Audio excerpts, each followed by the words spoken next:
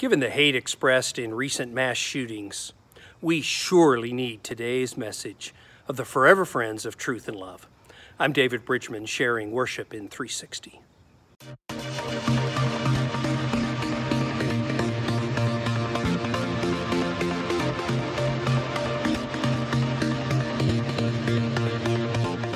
If you have a Bible or a Bible app, go ahead and open to 2 John.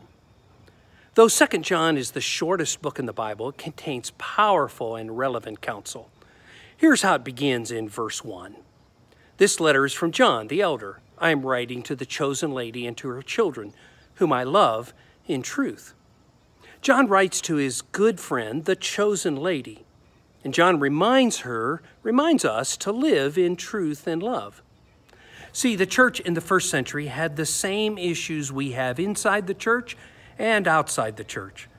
God knows that without the forever friends of love and truth, we humans have a tendency to harm, hurt, and even kill one another.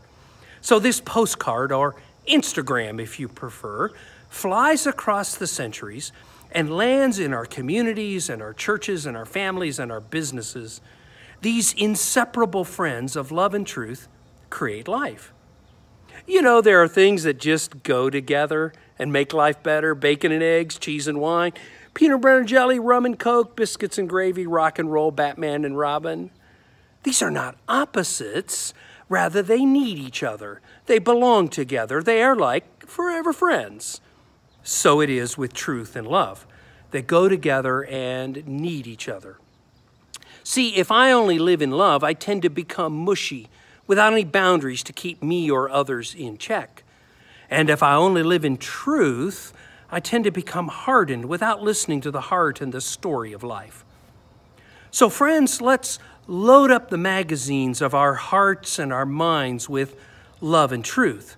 And then there just won't be any room for the ammo of hate and selfishness.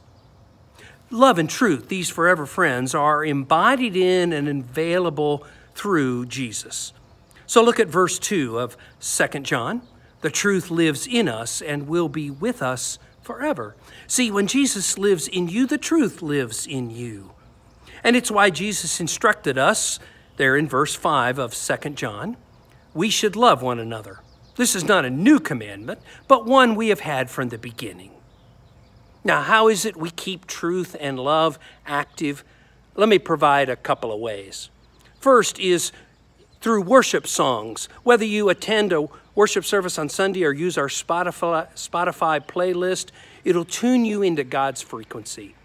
A second way is to build authentic relationships with others where you can test and learn about these forever friends of truth and love.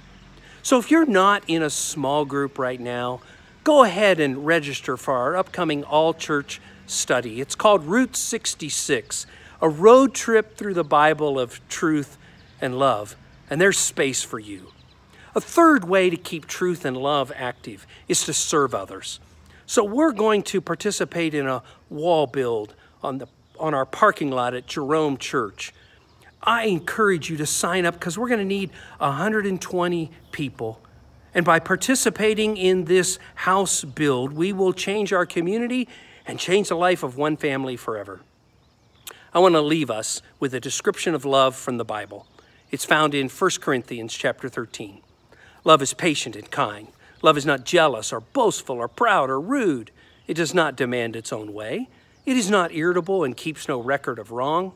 It does not rejoice about injustice, but rejoices whenever the truth wins out. Love never gives up, never loses hope, is always hopeful, and endures through every circumstance.